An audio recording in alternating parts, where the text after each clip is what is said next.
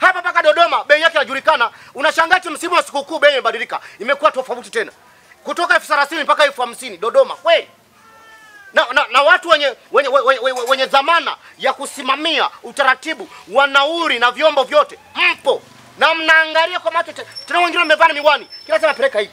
Mnapewaga nini nyinyi? Kuna kitu mnapewa? Kwani nauli ibadilike kipindi cha, cha sikukuu? Kipindi cha sikukuu nauli zinabadilika kwa sababu gani? Umbali si ule ule, mafuta si bei si ile ile eh? Tatizo ni nini mpaka kusema labda bei zibadilike ghafla kap? Eti kwa sababu ni sikukuu, eti kwa sababu ni watoto wamefungua shule. Lazima niseme bana. Kwani nisiseme bana? Sasa mimi na washitaki. Ah, mimi nasema bana. Kwa nini bana? Kwa waziri wa usafirishaji. Eh, Kwani hapa si ampo hawapo bana? Nataja tu mimi. Mimi nafumua tu. Kwa waziri wa usafirishaji.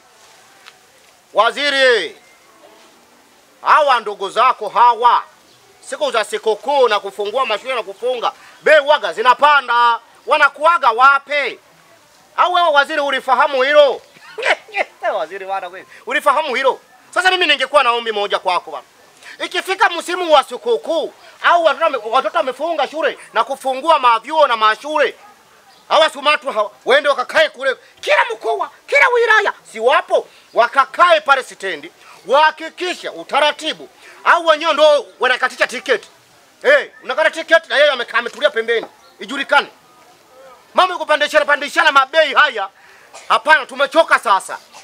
Wewe tunakwenda huko Dar es Salaam, bei hii bei hii bei hii, eti daraja daraja. Hayo madaraja Sumatra, mnayajua hayo madaraja ni lipi na lipi? Mbona mtu hamtueleweshi?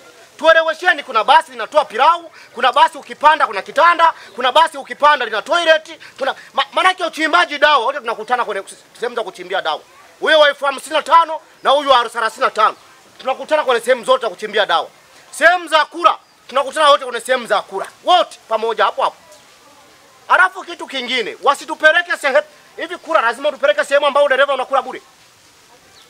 Ili swala mnaliona hili, madereva wengi anakanyaga geya geya geya geya, kumbe wana sehemu zao za kula bure. Geya geya. Akifika sehemu ya kula bure ambayo yule mama mwenye mgahawa alishawaambia kwamba mtakuwa mnakuja hapa kula bure, unaona bana, anapaki pale basi mbap, anashuka na kondakta, wanakwenda kwenye kachumba, wanatangazaga.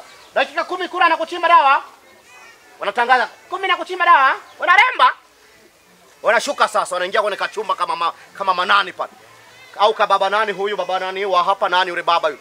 Anaweka sasa hapa pilau, anaweka hapa. Basi, kondakta pamoja na dereva wanaona raha raha raha, wanawekewa juu sinene Nyinyi huku mmeambiwa kuchimba dawa na, na, na, na uraji eh, dakika kumi, mnashuka sasa. Ukienda kuuliza msosi, ehehe, bei ni mlima baba, bei mlima, umeachama namna hii. Ukiweka kumi pap imeondoka baba. Hii kwisha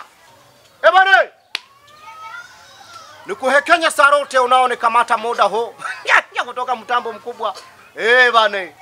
Eh ni Star TV bana. Buraza ke tajiri wa Kigoma. Ni Temo Bimba nyuma ya kamera pale ni Po Masai. Eh yuko ametulia pale kiuno 32